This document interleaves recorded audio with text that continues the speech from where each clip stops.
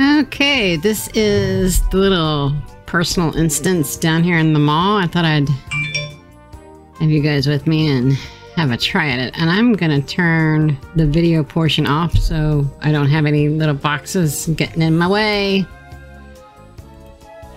So, webcam, we're gonna turn that off. Okay. Okay, so we can choose from Primordial Wave has two additional charges, or your attacks have a chance to curse your target, dealing 11,000 damage, shadow damage. Hmm. Let's try that one. We'll do the corruption antenna just to see. Um, let's go see what we can get done here. Um, Uh, yeah, why did they run? I don't know why they ran. Uh, my little shaman is not that scary. Let me see if I can make one small. Oh, I can hex them. Yay. This is, um... We'll see how far I can get through here, right? Yes, I'm a little slow because I have... This is my first time through here, so we'll see I can keep from getting killed here. I'm gonna hex that one.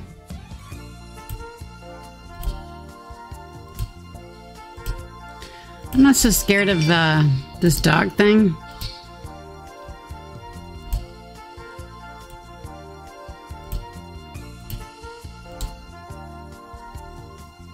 Where's my targeting thing? Okay, auto attack. Um,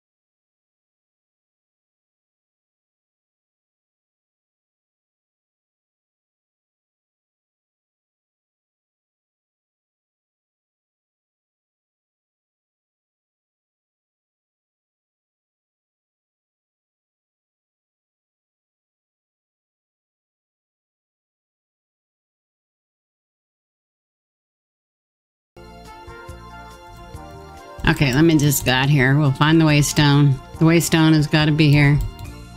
Okay, it's got to be close by, that's for sure. I am still not in the eye of the jailer. There's the waystone! Duh!